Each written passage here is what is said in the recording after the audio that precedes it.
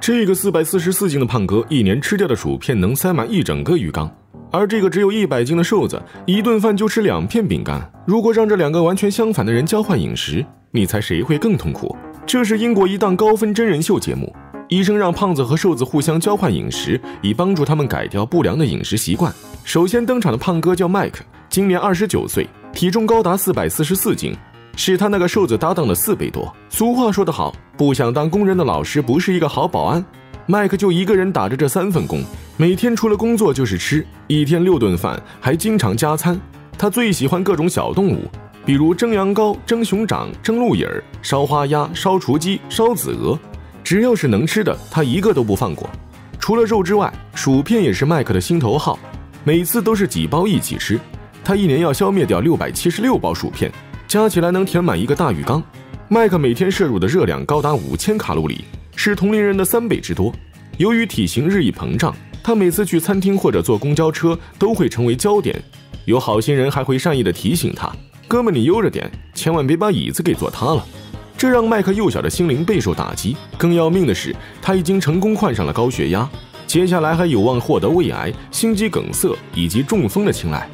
麦克只想做个平平无奇、长命百岁的美男子，因此报名参加了这个节目。与视吃如命的麦克比起来，他的搭档就像在修仙。二十三岁的山姆是一名空少，身高一百八十五厘米，体重却还不到一百斤，连很多一米六的女孩子都不如。忙碌的工作让山姆无暇顾及吃饭，他早饭不吃，午饭也基本不吃，很多时候一天就吃一顿晚饭，就这一顿晚饭分量还少得可怜。他每天摄入的热量只有麦克的五分之一，相当于一个幼童的食量。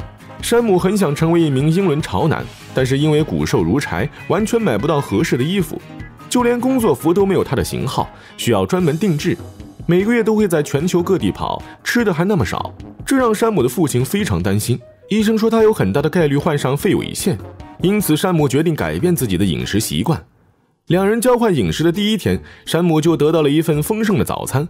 看到这成吨的美食，山姆小小的脑袋里充满了大大的问号。早餐吃这么多，是不是过于恐怖了？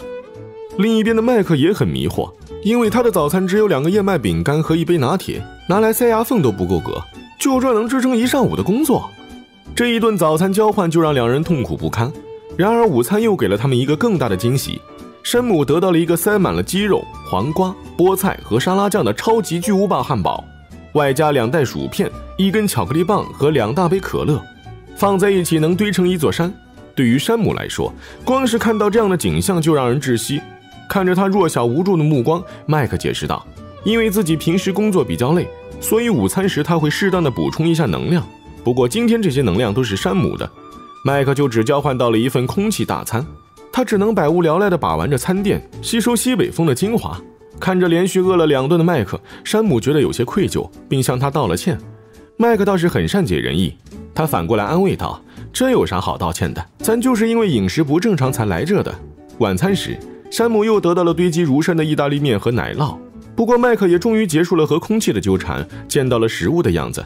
他得到了一份迷你鸡肉沙拉。此情此景，他不禁由衷地感叹道：“工作这么累，你靠这点玩意儿竟然能活到现在，这可真是个医学奇迹。”两人一边吃一边聊到了童年。麦克说出了他变胖的真正原因，原来他有一个特别宠他的爷爷，两人感情深厚。在爷爷的投喂下，他到了十一岁就变成了一个大胖子。另一边，山姆也收到了父亲的来信，鼓励他好好改造，变肥、变胖、变健康。父亲还开玩笑说：“你已经长大了，一定可以一个人吃完整个三明治。”说到动情处，两人都热泪盈眶。山姆小鸟依人的依偎在麦克的怀里。麦克则温柔地抚摸着他的小脑袋，这温馨和谐的氛围持续到第二天的午餐时间便戛然而止。山姆一脸无奈地看着面前超大份的牙买加鸡肉饭，而可怜的麦克又收获了一份空气大餐。看着空荡荡的桌面，他再次对山姆发出了灵魂拷问：“老弟，你平时真的不会饿吗？”一转眼就到了最后的晚餐，山姆的晚饭依旧丰盛，麦克也喜笑颜开，因为他终于又吃上饭了，但他的脸上写满了幸福。人生头一回觉得寿司竟然这般美味。经过两天的相处，他们都意识到自己的饮食习惯原来这么不健康。两个人从医生那里拿到了定制的食谱，决定好好改变。再次相见已经是两个月后，他们都发生了巨大的变化。山姆开始认真对待一日三餐，经常给自己加餐。每天吃的食物是之前的两倍多，现在成功胖了六点四斤。而麦克则完全戒掉了薯片和碳酸饮料，经常去健身房运动，实在嘴馋的时候也是吃低脂高蛋白的健康零食。在他的努力下，体重足足减了四十五斤，血压也变得正常。得知结果的麦克喜极而泣，两个人兴奋的手舞足蹈。这短短两天的交换饮食之旅，却是他们做的最正确的决定。